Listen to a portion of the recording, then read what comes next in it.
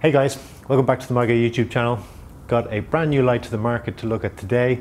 It's by a company called Koniea and they are only available on Alibaba, so you get them direct from the manufacturer.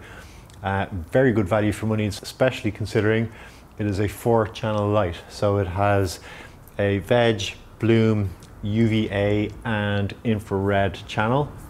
So four separate channels on this light, which makes it really unique in terms of that pricing for that level of specification. It's also got this interface controller here with the screen, which um, again, incredible that they're offering this amount of features and for, um, for this value. So is it any good? That is the question. Let's have a look.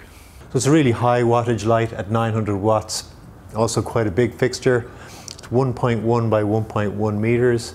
It's about three and a half foot by about three and a half foot. It comes pretty compactly packaged. The bars are separate from the driver box here on top, but they just click into place. So really easy to assemble. You've got eight separate bars here and uh, yeah, all evenly spaced. On the end of the driver box then you have this little controller interface. You've got uh, individual knobs for each of the four channel outputs. You got the connections for daisy chain dimming control and you have an interface here with timers, uh, you know, sunrise, sunset features, all that sort of stuff integrated into the light so you don't need any external controller for this fixture. A big mixture of LEDs on this fixture. The LEDs used are Samsung LM301H whites, uh, Osram 660 nanometer and far reds and they all have uh, the requisite conformative coating over the LEDs to protect them and give them a longer life. There's a combination um, of outputs. So starting off with the veg, which is the cool white LEDs only.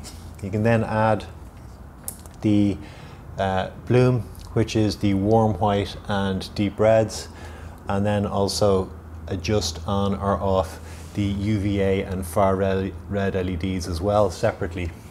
You control that with the knobs here. We can also do it through the controller interface. We'll have a closer look at now.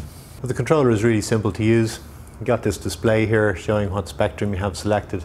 As you turn up and down the individual channels, the spectrum will change to show uh, what output you are uh, using. You can click into the various elements here on the side and select the sunrise sunset functions, the timer on and off. You can individually control precisely uh, the power output or the wattage output I should say for each of those channels as well. So I did check the spectrum output of this fixture using the Asensetek Passport spectroradiometer and under the test you could see the um, full range of the spectrum including the UVA and the far red elements and uh, th with those channels all full on. Given it's a 900 watt light, it's a big fixture. I tested it in a 5x5. The recommended hanging height is between 12 and 24 inches. I did test 60 centimeter or 24 inch hanging height and there got a average PAR of around 850 micromoles and an efficiency of 2.13 micromoles per watt or usable ppf per watt. That's measuring the total power output on the plant canopy and dividing it by the power consumed, which is a touch over 900 watts.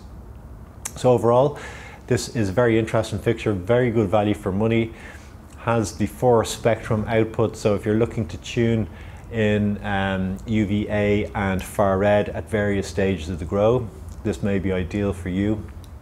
It does indeed cover a 5x5 really well with good even coverage and it ticks all the boxes really in terms of specification.